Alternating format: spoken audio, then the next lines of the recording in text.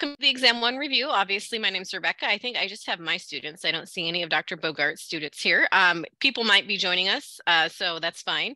Um, so we have um, Jessinia, Helene, Reese, and um, Dwayne. So um, Helene, go ahead and tell me what questions you had after you looked over the review information.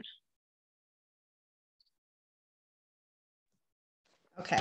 Um, so I know I know that um, we're breaking down the stages of Mhm. Freud, Piaget, um, And then Erikson is Erikson. the yeah.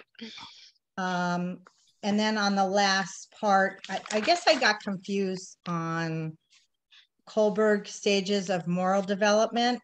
Okay. So, I guess I'm like all over the place, so I apologize. No, I'm no, trying that's to- fine. Yeah. Figure out maybe how to do it in a format manner. Okay.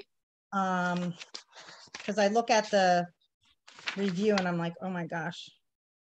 And I also had a question regarding the, the techniques to cope with a lethargic infant. hmm So lethargic infant, we talked about it briefly. That's that's the term that they use for an overstimulated infant. So lethargic can be, you know, a sign of illness, but in this case, when they're referring to a lethargic infant, they're not referring to an infant that's sick or has some sort of a medical problem. It's a it's an infant that's overstimulated. So now that now that Oh, I'm okay. saying that, um, I want you to think about like what do you think you would do if an infant Okay. was overstimulated? So Okay, that's like the calm voice, you know, minimal like lights. You know, babies are kind of freaked out by a lot of lights and noises and stuff like that, moving them slowly from one position to another. So the lethargic in this case refers to an infant that is so Okay. overstimulated that the baby kind of shuts down and they kind of have this blank stare. Oh.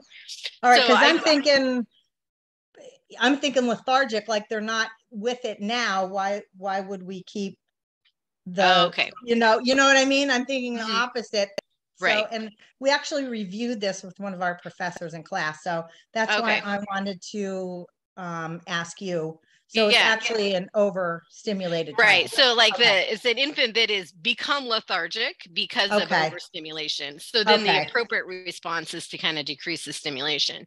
Whereas Okay. you could have an infant that had like a serious infection and was lethargic and that those things would not you know you would be getting addressing the medical needs of the infant in that case but in this specific in, in instance they're referring to an infant that became kind of out of it and and blank stare not really reacting because of overstimulation Okay, thank you. Okay, sure.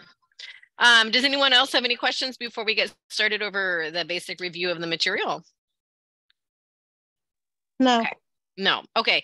Did all of you uh, look at the worksheet? Because there was like a worksheet and then there was a PowerPoint presentation. Does everyone have the the worksheet or not?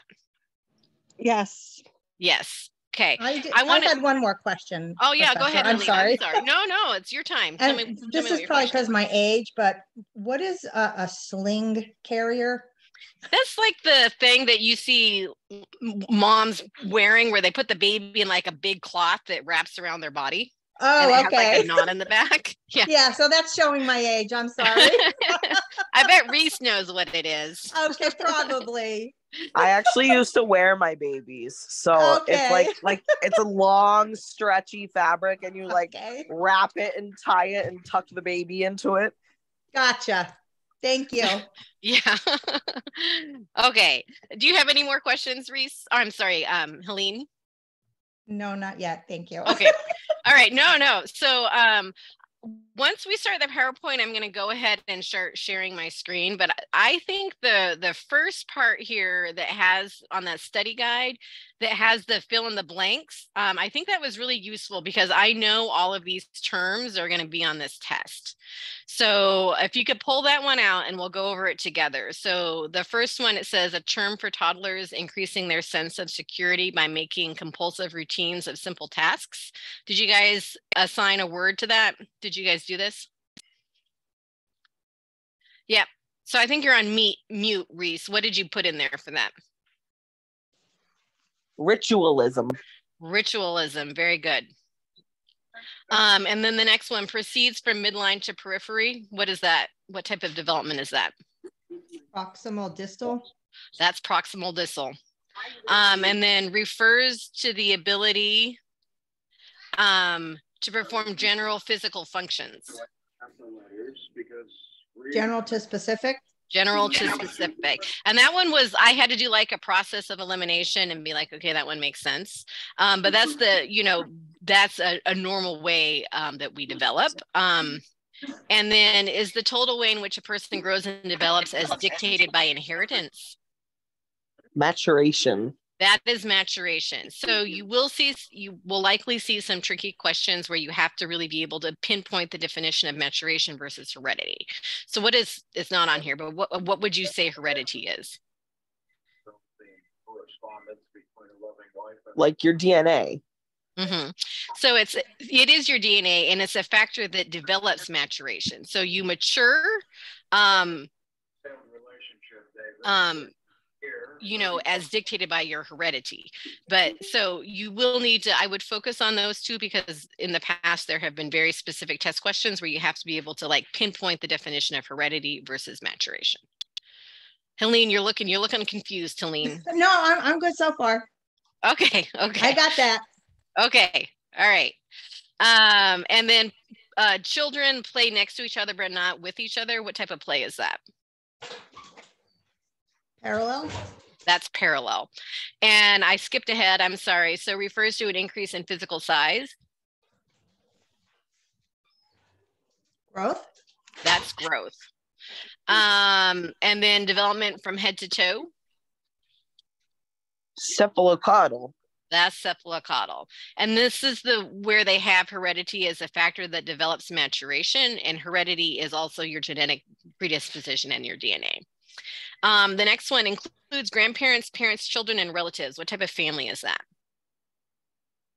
That's your extended, Extended. family. Extended. And refers to remarried individuals with children. What type of family is that? Blended. blended and refers to communal families or you know families that include friends and other people Alternative. that's alternative and this one is defined as the unique organization of characteristics that determine the individual's ty- typical or recurrent pattern of behavior what is that Personality. that's your personality and the traditional family husband wife and children Nuclear. nuclear and refers to the protrusion of the tongue to prevent intake of inappropriate food Extrusion. Reflux. Yep, that's when a baby kind of Reflex. Out. I'm sorry. Yep. Mm-hmm. And then occurs when you touch the palm of the infant and flexion occurs. Grasp reflex. That's your grasp reflex. This one was a little bit tricky. Is the ability to grasp objects between fingers and opposing thumb. Prehension.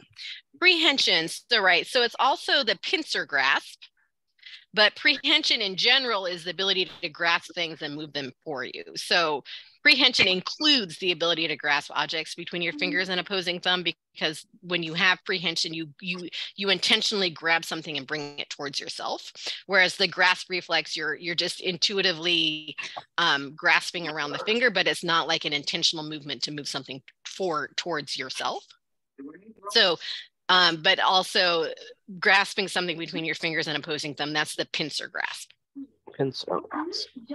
and that's kind of how you like hold a crayon or something when you're learning to write um and a protective arm extension that occurs when an infant is suddenly thrust downward so you're holding them and you flip them over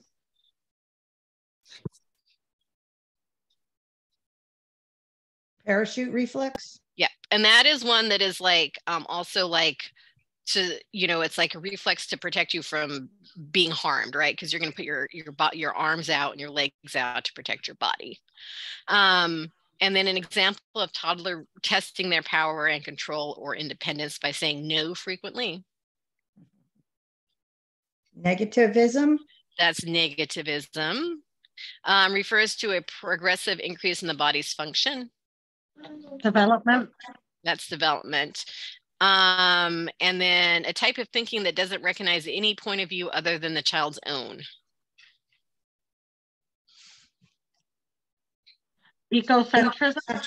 Egocentrism. And then the last one about toddlers is actually the first one on the shirt sheet. It's a term for toddlers increasing their sense of security by making compulsive routines of simple tasks. Ritualism. That's ritualism. So there's a lot of terms on this worksheet um, that are related to toddlers. It's kind of a complicated age, right? so I would I would recognize all of those terms. Um, I'm going to go ahead and put this PowerPoint up now and start sharing my screen.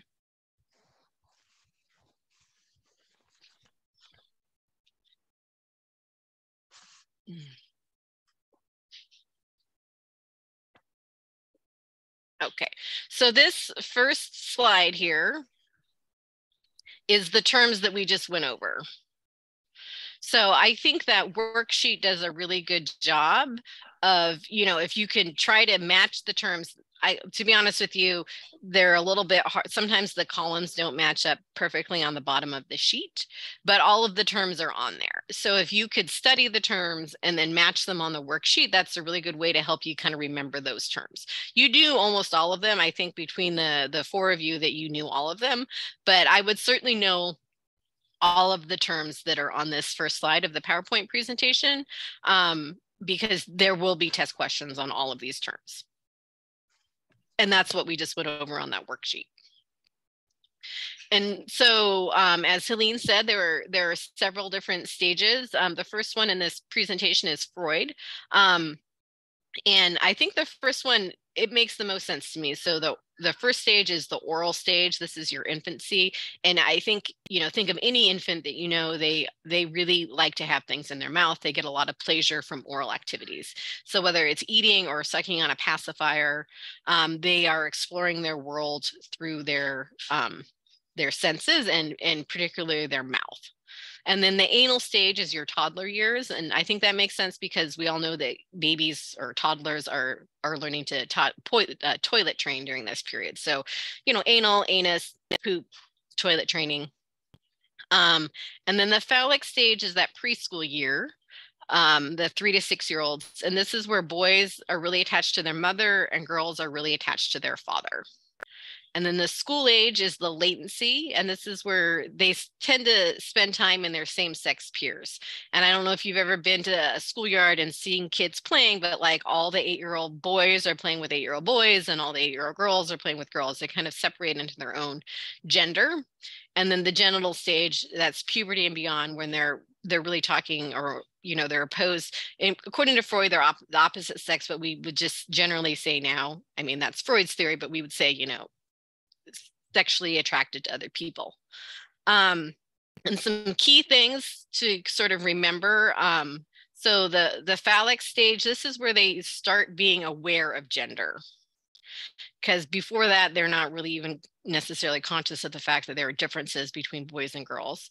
Um, and that's that preschool years where the boys are really attached to the mother and the girls are attached to the father. And the latency stage, um, that's where they are aware of gender, but they they tend to spend time with their own gender group. Do you guys have any questions about that? Okay. On this next little slide, I'm going to ask you to give me some some examples. So, um, infants exploring the world through their mouth. What do you, what would you say about that? What's an example of how an infant does that?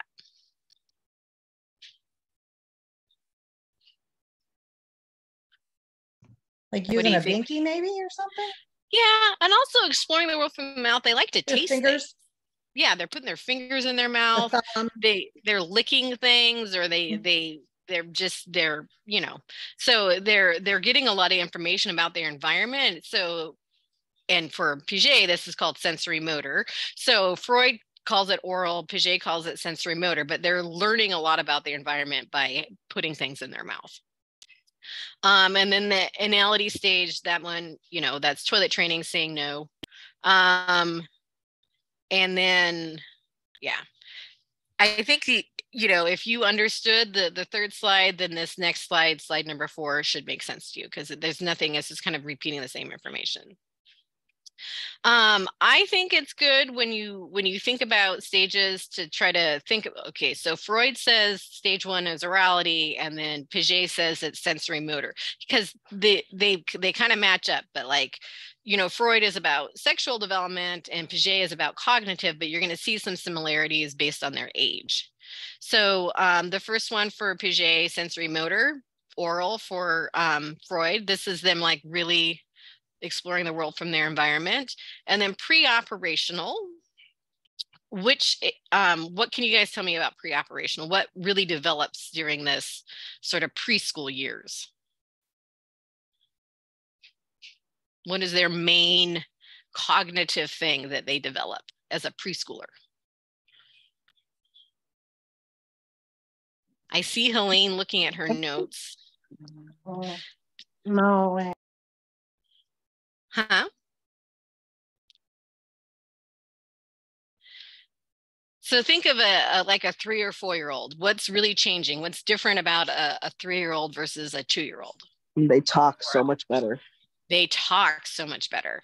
So this is one of the main things with the pre-operational phase is this like very um, rapid development of language where they start using grammar um, and they're really able to express themselves. So that's kind of the earlier like earlier because pre-operational in five years is what happens in that five year. And then the later you know they're starting to get into this imagination. So if you've ever been around like a five or a six year old they often have imaginary friends. So they they really have all of these imaginary thoughts. And we talked about some things like animism. Who can who remembers what animism means? It's something that you see in the pre-operational phase So when they like yell at objects or like talk to objects. So animism is when they they think that non-human objects have human characteristics so they they they give animation to objects that are not human. So their teddy bear talks to them or or they believe that um, the wind is blowing because someone's mad and they're blowing out hot air. So they they see things in their environment and they give them human characteristics even though they those things are not human. And that's part of that imaginative thinking stage of their development and we talked about another one in this stage is they're they're imaginative and they're intuitive. So who can give me an example of like an intuitive way of thinking for a, a preschool child?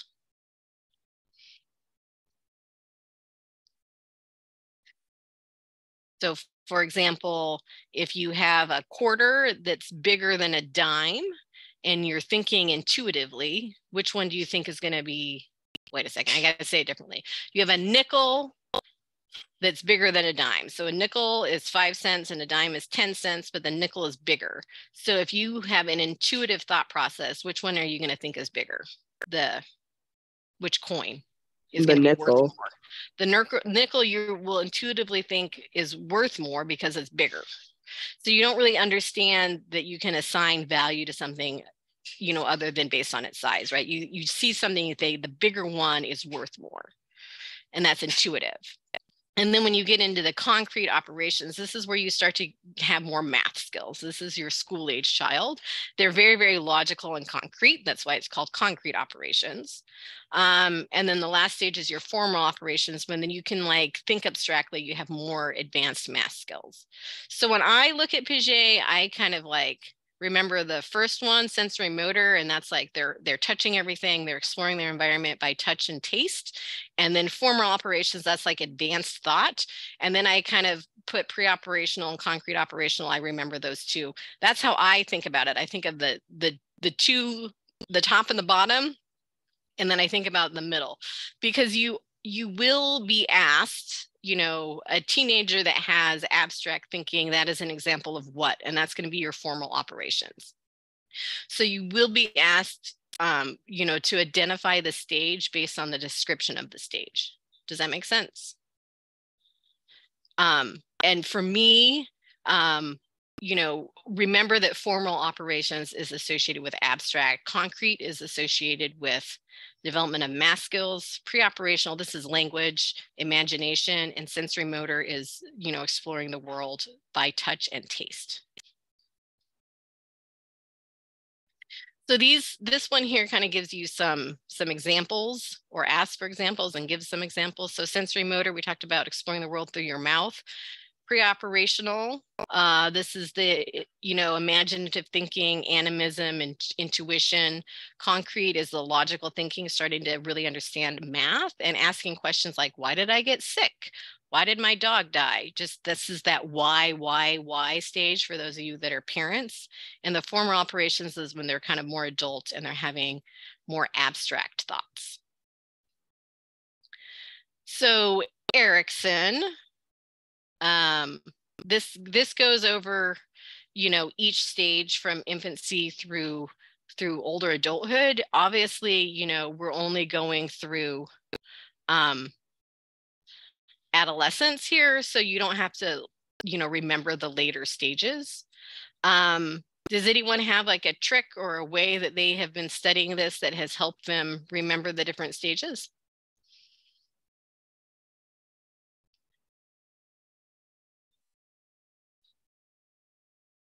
What have you been doing, um, Helene, to study this? You're on mute.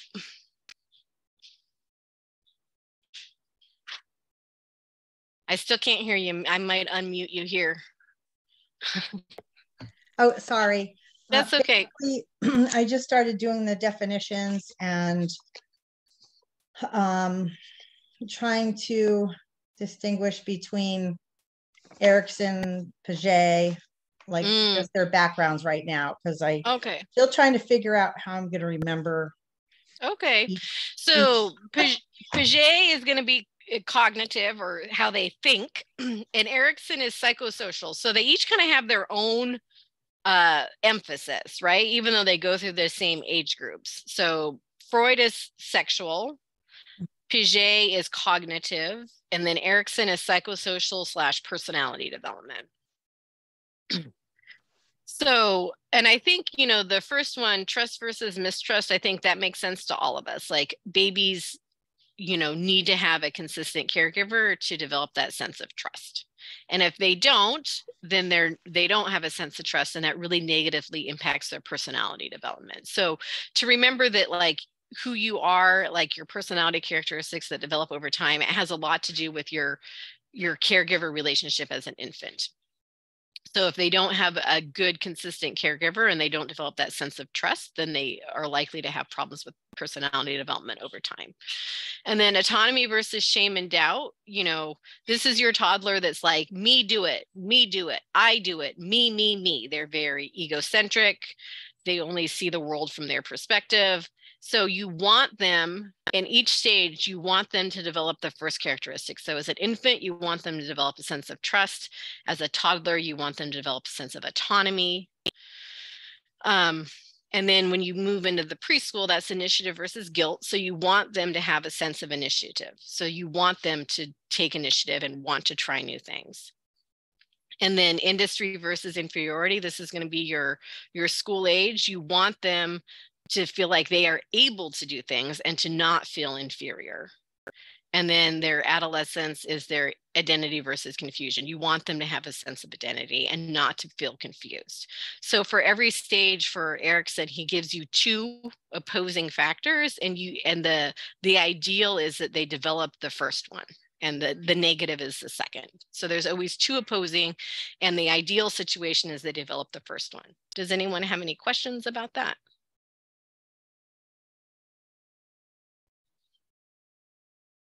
So, what do you think you're going to do? So, as an infant, you're going to be a consistent caregiver, meet their needs, respond to the baby when the baby cries.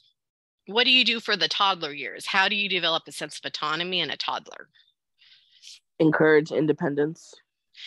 Yes. And how do you encourage independence? Let them do things on their own. Okay. Uh, so you have 10 times yeah. longer. Right, right. So this is like if you have a toddler and they're able to put on their shoes, it might take them 20 minutes, but you're going to give them that 20 minutes to put on their shoes and then they're going to feel like they have a sense of autonomy that they can do it. So this is like you know allowing them to have that autonomy so giving them tasks that they can complete that are age appropriate um, and then not doing things for them. If you're constantly doing things for them, then they're going to develop that sense of shame and doubt. And then how about the initiative versus guilt? What do you do to help a, a preschool child develop a sense of initiative?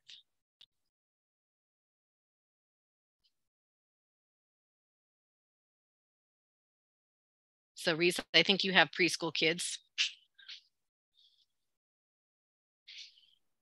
Yeah, uh I don't I don't know because I don't know how I did it. My kids are just awesome. They just do things and there's like, okay. Uh so this is also thinking about like um what is developmentally appropriate. So like if you have a, a four-year-old um, they might be able to put beads on a string, but they're not going to be able to crochet. So you're going to give them tasks that they can complete and then they're going to be like oh i did that and you give them positive reinforcement good, job putting beads on the string. Um, and over time if you're exposing them to new tasks and they're developing a sense of accomplishment then they're going to develop a sense of initiative. So it kind of it feeds off that develop autonomy in a toddler you let them do things and then as you get into the preschool years you expose them to things that they're going to be able to do so that they get a sense of accomplishment and then they develop a sense of initiative and that's kind of leads to the industry versus inferiority you know um, you want them to develop a sense of industry so you encourage them to do things that they're good at. This is kind of the age where they're going to maybe get into sports but maybe they're going to be more into music. So that's okay but you want them to do things that they like and that they enjoy because um, then they'll develop that sense of industry. But you know they're they're still young so you want to expose them to multiple things and then let them choose the things that they're good at. Does that make sense? And then the the teenage years, this is identity versus confusion. This is where their peer groups are like the most important thing in their life, and you just have to recognize that that's why is that they're they're working through that, building that sense of identity. So um, I'm going to make this smaller so you can see this. Um, this kind of goes through the, the same thing that we just talked about. It's just a re revision of the, the previous slide, um, but it gives some specific examples. So uh, Reese gave the example of letting the toddler put on their shoes, also letting them eat, letting them pick out their clothes, trying to get them to express their needs. All of those things help the toddler develop that sense of autonomy. Um, and then preschool, this is like you know, doing tasks that they're able to complete. In the school age, um, this is where they just start to develop teamwork. This is probably the first time when they're going to be on sports teams. Um, so kind of thinking about where they are in their psychosocial development and then putting them in, in situations where they're going to develop the skills that are age appropriate. And this one here, you guys have probably seen this over and over again. This is Maslow. So um, you know, at the very, very top of this pyramid, you have your self esteem needs, and at the very, very bottom, these are your physiological needs. So you have to have your physiological needs met before you're worried about safety, before you're worried about love and belonging. So you kind of build build this triangle where the the base of the triangle is your physical needs being met and this is kind of discussed throughout nursing school so i don't think this is the first time you've seen maslow no i think the study guide has it um mixed up though Oh, what does the study guide say? It has safety needs first and then Oh, no, physiological needs. Yeah, And, I mean, yeah. we know that that's wrong, but Yeah. Thank you for pointing that out, and I can fix it for next term. You're right. So it's the physiological needs before safety needs. Thank you, Reese. Yep. And this is the Kohlberg is the one that I think that students struggle with the most. Um, so is anyone that's here today want to want to summarize Kohlberg for the rest of the students? What do you think?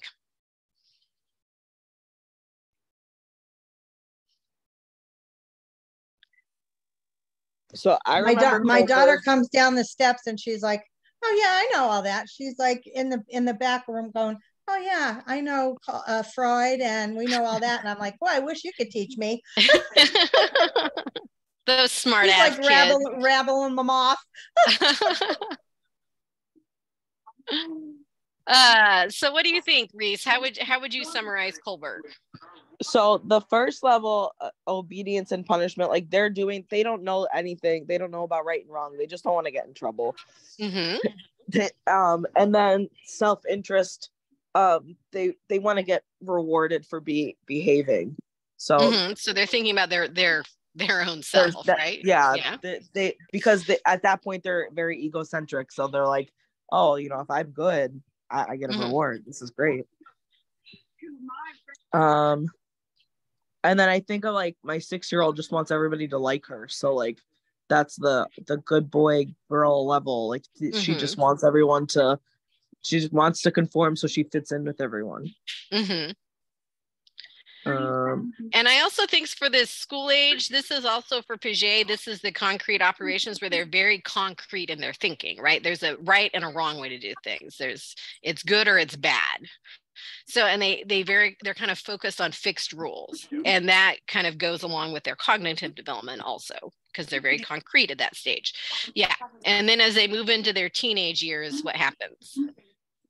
uh, well, by then we hope and pray that they've actually learned the difference between right and wrong, and they know what they're supposed to do and what they're not allowed to do, thanks to their formal This is, operational. yeah, this is formal operations abstract thinking. So the one thing I can say about Kohlberg is that, um, you know, the earlier stages don't go away. Like just because you are concerned with self-interest as a preschool child, you also don't want to get in trouble. So it's like layers are added instead of something replacing something else. So you know, as you're going through your moral development, there's still going to be the sense of, well, I don't want to get in trouble. So I'm not going to do something because I don't want to get in trouble. And I want people to like me and I'm worried about my self interest. But it's more like it builds on itself instead of one replacing the other. Okay. Um, so this one, you know, on the worksheet, she kind of developed this. The worksheet was developed by a different PEDS instructor, but I uh, adopted it for you guys. So um, there's certain things that you need to think about specifically for infants, and one of them is just knowing terms. So a neonate is birth until four weeks, and an infant is four weeks to one year. So you might see that on a test where you're going to have to define, you know, a neonate versus an infant. Um, and we talked about some very specific things. So you definitely need to remember, for example, that a baby's weight should double by six months. So if they say, you know, the baby was seven pounds, six ounces at birth, what do you expect the baby's weight to be at six months? And you're going to have to know to double that. And then it triples by the first year. Um, usually we test weight questions more than height, but generally speaking, they should increase by one inch in the first six months. And an infant on average is 29 inches by one year. Um, and you should know big milestones. So um, infants should take some independent steps by one year. They should have teeth around six months. Uh, when do infants normally start rolling over? Is it three months? About four months, yeah. Um, and when do they start sitting up independently? You're not touching them, they're just sitting there on their own without any support for several seconds or minutes. Six months? So maybe, but certainly by eight months. So, you know, many of you might have some advanced kids, but I would sort of go through and and and be able to pinpoint. So certainly if you're 10 months old and you're not sitting up, that's a problem. Um, or if you're a year and you're not taking independent steps or standing on your feet, that's a problem. So it's kind of you need to know like at this age they definitely should be doing this because kids you know not every kid is exactly the same and they're going to kind of um, you know might start something slower or later but by specific endpoints they should definitely be doing something. And if they're not then you need to be worried that there's something wrong. Um, and then in terms of the food we talked about this so breast milk is best and if it's not breast milk what you know it's formula and um, when do you start introducing solid foods to babies? Five, six months? Yes. And uh, what is the first food that you introduce? Rice. Rice cereal and Cereal. why? Because it's more bulk. Huh? More bulk. They'll feel full. Small bulk. So the no reason why you chance of choose allergic reaction. Yeah, it's it's the most hypoallergenic. So you're very unlikely to have, you know, almost no one is allergic to rice. So um, you start with rice cereal because it, you know, it's, you know, they they are very unlikely to have an allergic reaction. And then how often do Yeah, you introduce that's new funny. foods? Um,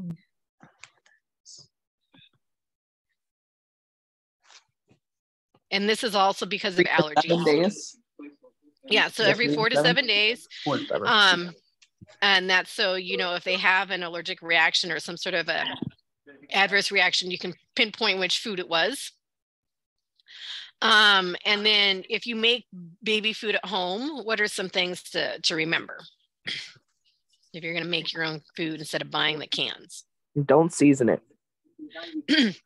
Yeah, specifically, don't do any salt or sugar, and you should never give honey before the age of year, and that's because of the risk of botulism. Um, and then make sure you know it's the right temperature. And there's a there's a a quick way to remember like a, a, a feeding size. So it's like a tablespoon per year in age. So like a one year old might do like a tablespoon of something. Um, and then the infant continued. Um, you got to know about car seats. I think you guys all know this. So rear facing um, until they're at least 22 pounds, center secured. Um, and this is this slide has a lethargic infant that Helene asked about. I think we went over everything on this. Oh, except the SIDS. So what can you guys tell me about SIDS? Sudden infant death syndrome. Okay. Uh, They should be and- lying, sleeping on their backs on a firm mattress. Right. No blankets, so no, no, pillows, no nothing in the Yep. crib. Yep, yep, very good. Um, and then the toddler, uh, this is, you know, the potty training years. Um, you should remember that their weight should quadruple. So it doubles by six months, triples by one year, and quadruples by 2.5 years. So you should definitely know those things. So if you're ever given the birth weight, you can predict their weight at certain ages. Um, we talked about they're really a lot more, you know, they're acquiring a lot of language. they're also, you know, motor skills are really increasing.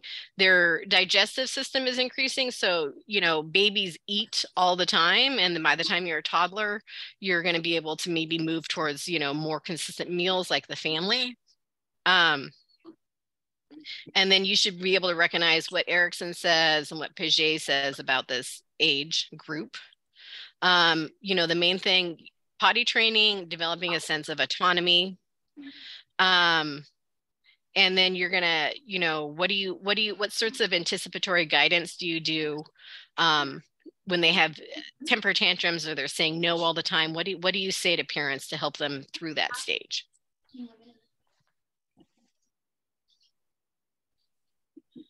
You just got to stay calm. Okay. Teach rather Uh, than punish. Okay. And so if the kid, like if you're at Target and the kid is absolutely losing his mind and screaming and you're embarrassed, how do you respond? I don't know. I don't get embarrassed. I don't either. okay. I don't either. I So the just sit down thing- with them. I just sit and wait for it to pass. I'm just like, at Well- some point, you're gonna give up. Yeah, and that is the main thing is that you don't, you know, you don't reward that type of behavior. So if they want a toy and they are like losing their mind because you won't give them the toy that they want, you don't give them the toy, right? So they're going to be testing your boundaries, um, and and they could scream and cry and kick, and they might really really lose their mind. But you just kind of let them do that, and then when they're done, you just pick them up and you leave, or have them walk with you. Um, but you, the main thing is, is that you don't sort of encourage that sort of behavior by giving in. So that's the same thing at like at bedtime, you know, I'm thirsty, I'm hungry, I need a snack, I need to go to the bathroom. So you do all those things. You're like, okay, it's time to go to bed. And then if they want something, like, no, it's time to go to bed. So you have like very specific rules and you don't go into this sort of attention seeking behavior. Um, so the preschool, um, you know, obviously they're getting ready to enter school. Um, and so this is where, you know, if they have the option to go to a preschool, we recommend it. Um, they, they learn a lot about following rules and stuff like that. Um, this is where they're really imaginative. Erikson is where they're, you know, what they want them to develop that sense of initiative. Um, they're still developing their language. Um, and then in terms of uh, thumb sucking and masturbation, these are two things that parents might ask about. How do you respond? You know, as as the pediatric nurse, if you have a a parent that is worried that their four-year-old is still sucking their thumb. Um, as long as it's not affecting like them playing, like if that's all they're doing, then it's a pro- like a problem. But if it's just like it's a comfort thing, so eventually they'll grow out of it. They're not going Yeah, to go so- to college sucking their thumbs. So Yeah. Yeah. The main thing is you try not to make a big deal out of it, right? You don't want to, you know, you don't want to put hot sauce on their thumb. You don't want to punish them. Try to, you can try to do some positive reinforcement, but not negative. Um, and then, you know, as long as they're not sucking their thumb by the time their permanent teeth are coming in, which is around age six, it's not a problem. So you, the general, the general rule of thumb is you don't make a big deal out of it. And how about masturbation? Is masturbation common? Do kids do that? Yes, they do. Yeah. Anyone else? Yeah, it's one of those things also that it will happen. So it's the same thing. You don't want to shame the kid. You don't want them to develop shameful or or have a low sense of self-worth. So it's like this is something you do in private, you know, and just kind of put boundaries on it, but recognize that they're going to be exploring their body and it's probably going to happen. Um, and then how about enuresis? This was the second week. Can someone just give me a general definition of what enuresis is? Bedwetting? Bedwetting. And there's primary and secondary. And what's the difference between primary and secondary? Primary is um, child who has never been dry, and secondary is um, they've been dry for a period of one year or more. And then, so what do you, what, what might be some causes? Like you've had a kid who's been dry, so they, they develop secondary enuresis. Why might that happen?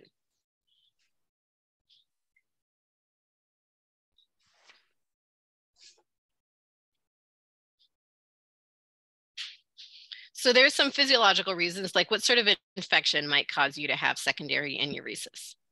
UTI. UTI. Um, how about like metabolic conditions, like you know, Uh, diabetes. diabetes, diabetes mellitus, and diabetes insipidus. Um, and there could be like a psychological. It could be a regressive behavior, like something stressful is happening, and then now they're starting to wet their bed at night. Um, so what what can you do as a nurse, or what do you need to do as a nurse? How do you address it? Put them on a bathroom schedule.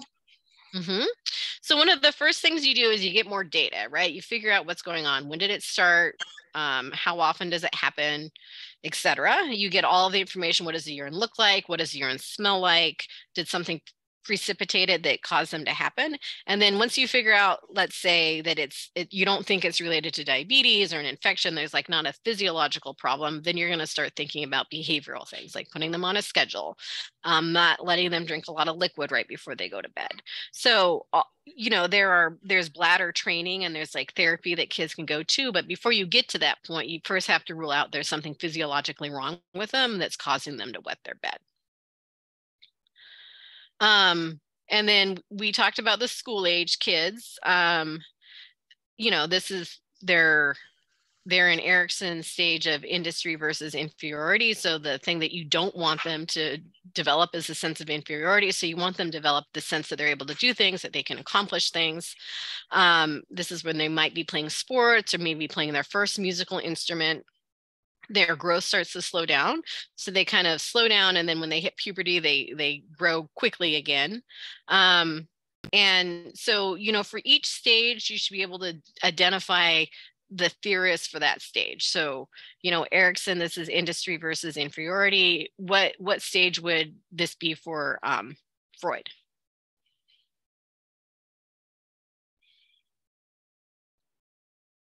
Is this latency or phallic?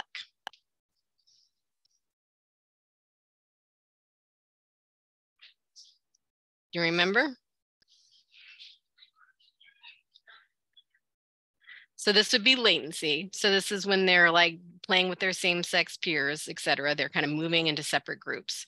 So for each stage, I would kind of try to be like, okay, so school age, this is Erikson, this is Freud, this is Piaget. So the school age is going to be concrete. It's going to be for Erikson, it's going to be industry versus inferiority. For Freud, it's going to be latency. So be able to identify each stage based on their, um, or each theorist per age group. And then adolescence, you're going to be doing your, um, you know, this is where they develop their sense of independency. This is when they start developing their abstract thinking, etc. So always, always when you're doing um, education as a nurse, you should be using the nurse's pro nursing process. So assessing first, then planning, implementing, and then evaluating your implementation. Um, you should remember that the Denver 2 is not an intelligence test. It's just a test to identify red flags, but you know, parents shouldn't be stressed out about it. It doesn't determine whether or not their child is intelligent or not. And in terms of timeouts, you should remember that it's one minute per age and year. So a five-year-old should get five minutes of timeouts. Body surface area is the most accurate method for calculating uh, drug dosages for children. Um, and then in terms of sex education for adolescents, this is really, you know, having those open lines of communication, getting them to talk to you um, and not, um, not judging them, not encouraging them to get information off the internet or um, other unreliable sources. Um, so I would definitely, you know, the last week we talked about medications, why they uh, children are at higher risk for toxicity than adults. You should definitely remember, you know, where you give IM injections. So the IM injection site um, for toddlers and children is going to be the vastus lateralis. Um, adolescents, you can do the ventral gluteal if it's a really big medication, um, or you can also do the deltoid. Um, if they have an IV, you got to make sure that you're evaluating their IV site every hour. Um, and you do need to remember that one gram is one milliliter. So if you're doing input and output for a baby, you're going to weigh their dry diaper and subtract that from their wet diaper weight. Um, and this is just um, a quick review, you know, remembering that you are going to have dosage calculations on the test. Um, and two quick things. Who can tell me what they think the leading cause of death is in children? What do you think? Motor Accidents. Yeah, motor vehicle accidents. Um, and then we talked about latchkey children. Who who can tell me what the definition of a latchkey child is? Kids that are left home, home alone. Mm-hmm. And they're at risk for accidents, etc. Um, and then on that sheet, it does it does mention tetracycline. So do you, does anyone know why you don't recommend tetracycline to children under the age of eight? Turns their teeth gray. It stains their teeth. So it can stain their permanent teeth. Yep. So that is the review. Um, do you guys have any questions? Okay, if you have any questions, I'll be checking my emails throughout the, you know, the weekend. Um, please download the test before you come to class. Um, and then we'll do it, you know, on Zoom. I'll check your ID. Um, they have been encouraging students to have a whiteboard for their dosage calculations. For sure, when you have your HESI, if you don't have a whiteboard, you won't be able to write anything down. So I strongly encourage you to get a whiteboard before your first exam. Okay? All righty. So if you don't have any questions, then I'll let you go. Thank you. Have a good Thank day. you. Thank you. Bye-bye. Bye.